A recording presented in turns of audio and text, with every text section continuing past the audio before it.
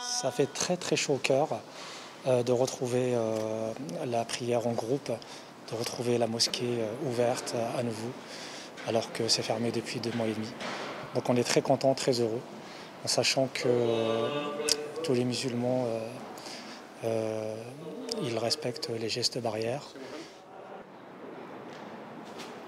Le fidèle, il faut qu'il ramène le tapis avec lui le masque obligatoire, même pendant la, prière et le masque. On a fermé la salle des ablutions parce que c'était un noyau, c'est le foyer de virus.